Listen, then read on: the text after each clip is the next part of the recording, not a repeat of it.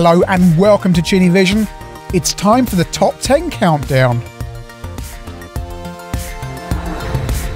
No, this isn't a countdown of the top games available for the Sinclair Spectrum, merely 10 games I think you should play. So let's get on with it. And the first game is The Addams Family, a 1991 release by Ocean, of course, a big movie that year. It was a TV series uh, many, many years before that. Uh, at this time, you would have been familiar with the repeats of it, even if you hadn't seen the film. You've got this lovely intro on the Specky, and you get to see all the characters. This is a 1 to 8K only game. Ocean's last game for the Spectrum and the CPC as well, actually. The plot of the game is basically the members of your family have been put all around your mansion, which is haunted, and you have to find all of them to rescue them. So there I am, I'm Gomez, and look, it's like a console game, but on a Spectrum you jump on baddies to kill them or to jump up to other bits of the screen. Yes, it's very colourful but colour clash-tastic, but it's absolutely gorgeous, and it's probably the closest you're going to get to the SNES style of game that was starting to be seen in the magazines, even if you hadn't played them at this time. Mega Drive games, that kind of thing, but on your home system and on the Amiga and ST, it's not so much a big deal, but on the Spectrum, yes, it is. It's a taste of the future of 90s gaming on your Spectrum. Not going to move around here. On to the second game, and speaking of 1990s games, then you will have certainly played Super Bomberman on the SNES and later ported to the Mega Drive. But did you know it originated from a Spectrum game called Eric and the Floaters by Hudson Soft, who, of course, originated the Bomberman games? And yes, there you are. You run round, you lay bombs, and you've got to kill all the floaters, the baddies, on each level. It's a very simplistic Super Bomberman game, but on your Spectrum, and it's absolutely amazing and just as much fun as its counterpart on the bigger systems. No, it doesn't have the power ups or the two player option, but you know what? It's incredibly enjoyable. Don't let the simple graphics put you off. If you say Codemasters, you think of the Dizzy games, possibly the Seymour games as well, and your simulator games. But Slightly Magic was a game that came out in 1991 by Colin Jones, and it's a rather wonderful action adventure game. And they go read the speed spell book, collect the wand to gain your magic powers, combine the spells with the matching objects to do everything you need to do. Right, so there you are. And yes, it's incredibly colourful and looks gorgeous. Again, a lot of colour clash like the Addams family, but it's not a huge problem. You've got to solve all the puzzles, huge graphics, and really, really playable, wonderful presentation, gorgeous sound. At least you've got a 1 to 8K spectrum, and very, very logical puzzles. If you like the Dizzy games, then this is really a step up. And yeah, you can see there the colour clash is a little bit of a problem, but doesn't detract from the playability of the game. It's enormous fun and it's an enormously attractive game. So polished and a budget game to boot. As David Darling himself would say, absolutely brilliant. Back to the early days of the Spectrum, the game programmed entirely in BASIC Mined Out by Quicksilver. Also available, I think, on the MSX and the Tandy Color or the Dragon 32, either or, can't remember which. Um, your mission, should you decide to accept it, is to basically go across this minefield and not get hit by the mines. If you're near a mine, you'll be told how many mines you're adjacent to. The keyboard layout is incredibly annoying, but if you can get around that, then it's jolly good fun in the same way Minesweeper on your PC is jolly good fun except this is much, much more tactical. You can never just dash across the minefield because the algorithm that lays the mines ensures there's never a straight path across the minefield. So constantly feeling your way around, trying to see how many adjacent mines you've got. And there, I'm dead there. And when you die, you get a replay, but you get to see where the mines are and where you messed up. So there, I messed up there. I thought there was a mine to one corner and it was to the other side. And this is how you do it successfully. This is on replay. And there you go. I felt my way across the minefield. You can see there's no straight path. Actually, I say lie. Apparently the algorithm is supposed to... Oh, no, there's no straight path across from the entrance. So you can never go straight across from the entrance to the other side. But there is a straight path if you go left a bit and then straight on. And as you go to later levels, you've got different challenges. There's things that move around and you have to rescue damsels for extra points. It's a basic game and it looks like it, but it is enormous fun. Another Ocean game, Smash TV, not one of the most obvious games to play on the Spectrum, but one that's definitely worth a look. No, it lacks the two players of the 16 bits and the arcade, and yes, the screen is more compressed down, but it's enormously colourful and enormously fun on the Spectrum. And the thing is, once you get over those limitations, it's incredibly enjoyable. It's Smash TV on your Spectrum with amazing presentation and amazing playability.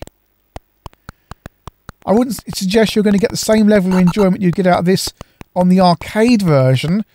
But you know what? This is one of the games you need to play on the Spectrum because it's fairly late here. We're not one of the latest Ocean games or Spectrum games, but it just shows what could be done and just the kind of fun that you can have on this humble 8 bit. And back we go again to the early days of the Spectrum, although machine code this time, not basic. This game is Splat, where you've got to guide Zippy, the spider thing, through a maze, but you don't control which way the maze scrolls. The, the computer does, and it does that at random, and you mustn't hit the edge because you'll die. And you just have to crawl your way around and try and collect as much of the grass as possible for extra point. Great game for high score challenges. I played this on a forum many years ago against some other people. And we all tried to get the best score. And the thing about this versus the C64 and the Amstrad version is it's so much more playable. The controls are a little bit twitchy. I playing this on joystick, but I don't recommend it. Keyboard is easier, but it's so much smoother and better, and it's incredibly fun. And when you die, it's only ever your fault. It's amazing. It's really good fun once you've scrolled around for a certain amount of time, the level is over and you want to level two. And the further levels have extra things you can collect, such as plums, and there's water and various things. And no, again, one of the top games on the Spectrum. Advanced Tactical Fighter is by Digital Integration, but it's not a simulator. It's more of an arcade game with a terrain. It's based on one of the uh, the Advanced Tactical Fighter jet that was in development at the time and yeah, wonderful presentations that should be able to choose which sound system you want in the menu. I can't think of many games where you select 48k or 128k sound on the menu. And once you take off, what's special about this game becomes apparent. It's not a traditional fly in a straight line arcade game. You can go in any direction as you scroll around. And if you watch the map on the right hand side, you can see what I mean. There's randomly generated terrain Where the grass areas at the moment. You can go over white areas, which must be snow, yellow areas, which are beach, and blue areas, which are sea. So I have a yellow area now. There's various enemies chasing around on that map.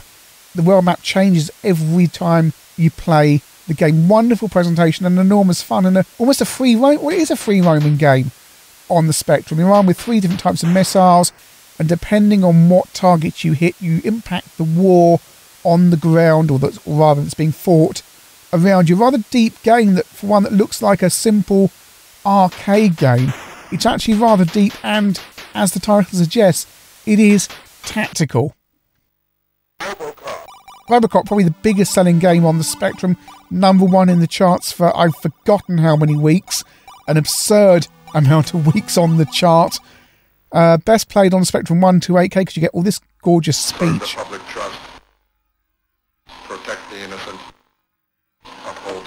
It's a game that became so well known that it's almost overlooked these days, especially because the Game Boy has a fantastic port as well. But the Specky is really where that version on the Game Boy began, and it's enormous fun. The graphics are very, very clear. It's very, very precise in terms of where you shoot, and enormous fun. It's it's like an arcade game, but of course it's not an arcade port. This is an original home computer game that later was ported to the arcade. I'd say it's very easy to forget about Robocop because it's so well known, but it's definitely a game that you need to play if you do have your Sinclair Spectrum out. Can't have this list without an ultimate game, but it's not an obvious one. We're playing Psst, if that's the correct way to say it. So you're this little owl thing. Is an owl? I don't know what it is. And you have to use the spray cans to kill the bugs and baddies. Now, one of the spray cans will kill the bugs, one of them might stun it and one of them won't work at all. And they, they all the spray cans apply to different bugs. And you have to protect the flower that's growing in the middle of the screen there. So you protect the flower, and then when it flowers, that's the level complete. So again, you just need to get the right spray can. So we need the blue spray can to kill these bugs. Level 1 is fairly easy. On later levels, you've got different types of bugs around. You have to keep on changing between the spray cans. But here on level 1, it's just these worm things. So any second now, hopefully, the flower will grow. Or flower rather, bloom.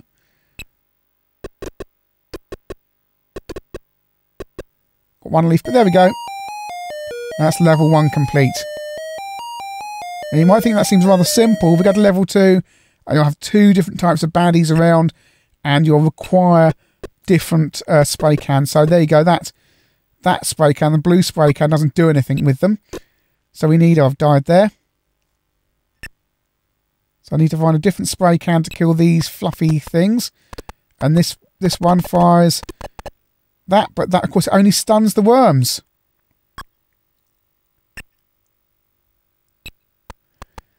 It's such a simple game, but it's incredibly addictive. It's like the arc early arcade games. Enormous fun. Final game on the list, uh, a Hewson game, and again, not one of the usual ones. It's Impossaball. And have a look at this. It's 3D with full perspective. So things in the background moved in a different perspective to the things in the foreground, if that's the right way of saying it. And you have to collect the, the uh, cone things, or sphere things, whatever belts on those.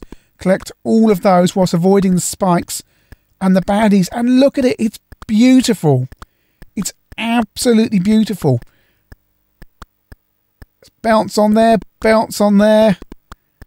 And then look, everything moves in, in just uh, with the perspective. It, it's just wonderful. You look at it and they've they've had to work all the do all the maths and work all this out. And it's an incredibly tough game. Level one is called nice and easy. But I can tell you it isn't necessarily nice and easy but it just moves. Everything about this game is lovely. It moves along at just the right speed. The perspective works really well. The graphics are really clear. Oh, I just think it's marvellous. So that's 10 games you need to try on your Sinclair Spectrum. Not necessarily the 10 best games, but 10 games I recommend you take a look at. The Addams Family is a slice of 90s arcade action on your Spectrum and the last Ocean game to boot definitely worth trying out. Slightly magic, wonderful presentation. Yes, it does have colour clash, but it's Dizzy that's moved on a gear. It's really nice. Mined Out is a very, very simple game, but incredibly addictive. Don't be put off by the graphics, it's really good fun. Smash TV, no, it's not the best port of Smash TV, it's not even the best way to play Smash TV, but it's a wonderful port for the Spectrum, so colourful, and so much fun. Look past the limitations and you'll have a terrific time with this game. Splat, the game where if you die, it's nobody's fault apart from your own. Wonderful fun, you always need to be one step ahead of where the computer is going to move the screen next. Will be brilliant ported to the iPhone, but it's not, so you're just going to have to play it on your Specky. Advanced Tactical Fighter is a free roaming arcade flight simulator for your Spectrum. Absolutely wonderful. If you're fed up with shooters on rails for your Spectrum, then give ATF a go. Robocop, perhaps a predictable choice for this list, but really is the pinnacle of Spectrum gaming. Again, it's an arcade quality game on your Spectrum. I can't fault anything about it at all. Psst is a wonderful name for a game because you have to stay psst but again, it's an arcade style game on your Spectrum and not one of the obvious Ultimate games. It's really good fun. And yes, it doesn't have a huge amount of longevity, but you got some good chances, some high score runs on this game. I really enjoyed it. Impossaball is so different. I think it's visually stunning. It works so well and it is completely different from any other game I can think of. I just love that 3D perspective view and how everything moves at different speeds. Probably quite hard to program, but so well done and wonderful to bounce around that 3D view. And it's got good speed, and oh, I just really enjoy it. So that's 10 games I highly recommend you check out on the Sinclair Spectrum. I apologise if some of those choices are a little bit predictable, perhaps Eric and the Floaters, but I don't think these are the 10 best games on the Spectrum. But I certainly, if I was putting a top 100 games on the Spectrum together, these 10 would certainly all be in it, and I highly recommend you check all of them out.